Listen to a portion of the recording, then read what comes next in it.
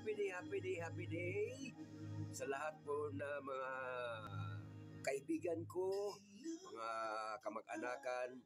At ito na po yung oras na kung saan ang ating pong ah, kakausapin sa bawat isa sa atin ay ang ating ibabalita ko po sa inyo na walang iba ang banal na salita ng Diyos na siya yung Biblia.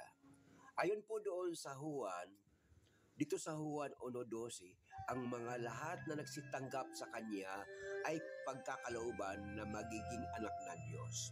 Paano po natin malaman na ikaw ay isa sa mga anak ng Diyos? Na ituturing ng Panginoon na kung bilang anak ay dapat kasama-sama po natin ang ating Ama na walang iba ang Panginoong Kristo. So, ang sabi po ng banal na kasalita ng Diyos, ang lahat ng magsitanggap